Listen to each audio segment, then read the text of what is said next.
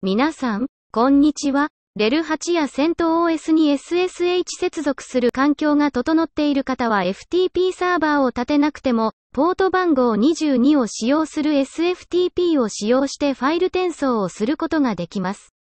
SFTP は暗号化された通信路を使って安全にファイルを送受信するプロトコルです。本日は WinSCP という FTP クライアントと同等の操作ができるソフトを使用して Linux に接続します。まずは、管理者権限で SFTP 接続する専用のユーザーを作成します。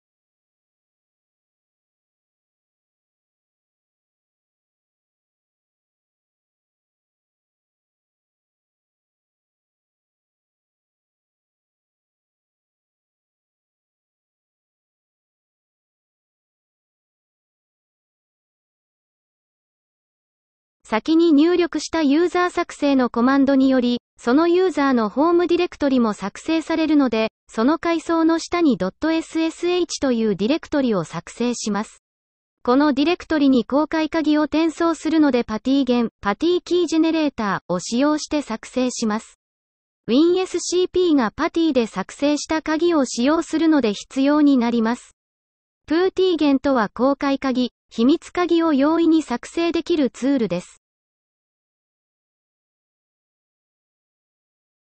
ジェネレートボタンをクリックして、適当にマウスを動かした後、何かしら文字列が表示されます。これをすべてコピーしてメモ帳に貼り付けます。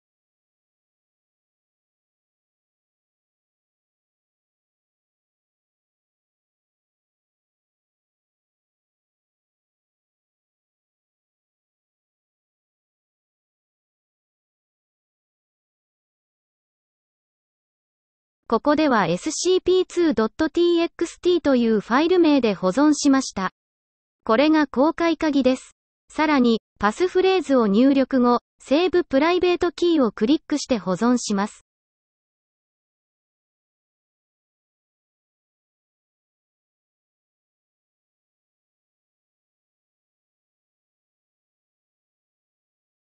拡張子は .ppk とします。これが秘密鍵です。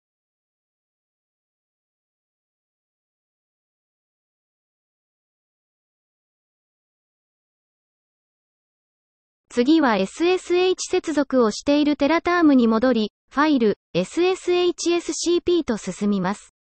上段の from の部分に先ほど作成した公開鍵を指定して転送します。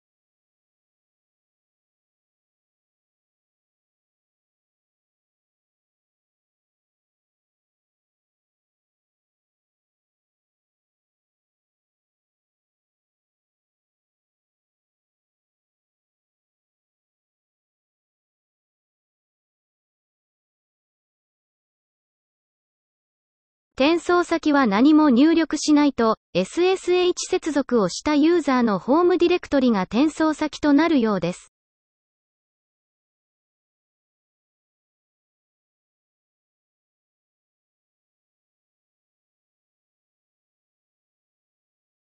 よって次のコマンドを入力して .ssh に authorized underbar keys というファイルを作成します。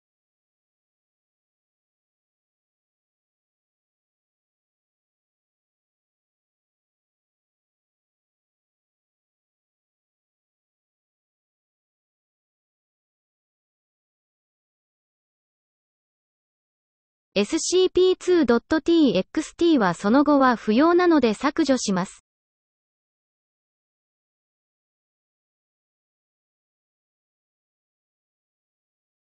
このファイルやディレクトリに適切なパーミッションや権限を付与しないとエラーになるので、コマンド入力して設定します。チモットでパーミッション設定を、チョーンで SFTP 接続をするユーザーに権限を付与します。ここまででサーバー側の設定は完了しました。続いて、WinSCP を起動して設定を行います。新しいサイトでホスト名、ユーザー名、パスワードを入力します。パスワードはパティゲンのパスフレーズではなく Linux で作成したユーザーのパスワードです。先ほどパスワードを設定していませんので空白のままにします。秘密鍵による認証をするので無視されると思われます。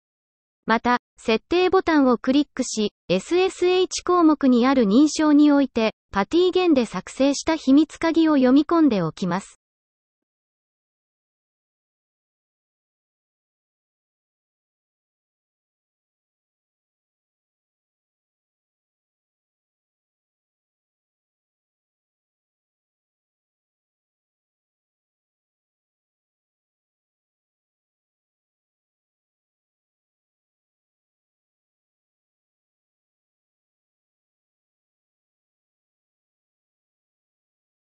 本日はここまでにします。ご視聴ありがとうございました。